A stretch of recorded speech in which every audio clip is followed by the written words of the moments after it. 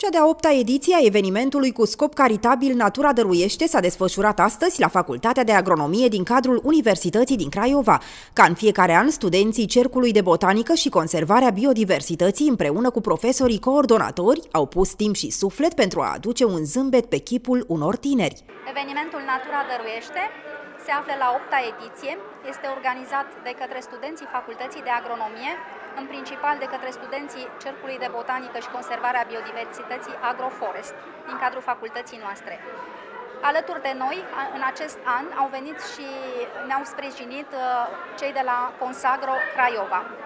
Evenimentul a fost organizat în scop caritabil, iar bănuții se vor duce uh, în acest an la un elev de la Liceul de Industrie Alimentară din uh, Craiova, cu rezultate bune la învățătură, dar care are o situație materială precară și, uh, de asemenea, bănu, o parte din bănu se vor duce uh, la o tânără care a avut un accident de mașină și are nevoie de foarte mulți bani pentru recuperare.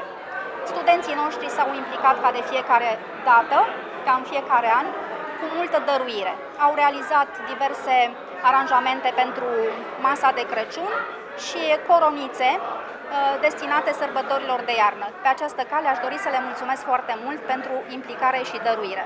Spiritul sărbătorilor de iarnă va poposi și în casa unui elev cu situație materială precară și a unei tinere care a fost victima unui accident datorită studenților care au vândut aranjamente de Crăciun și dulciuri pentru a le face copiilor o bucurie.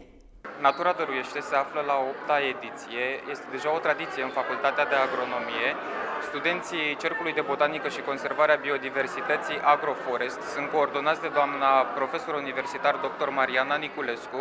Noi am realizat decorațiuni de Crăciun și coronițe, iar uh, prețul acestora va fi pe bază de donație și tot ce se va strânge va fi donat anumitor cazuri sociale.